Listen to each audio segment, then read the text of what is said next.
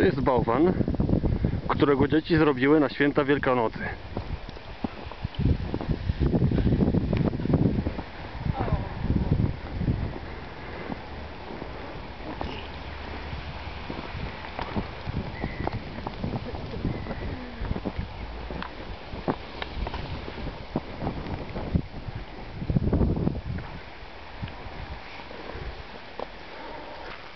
Co to jest? Co to jest w moim ogrodzie?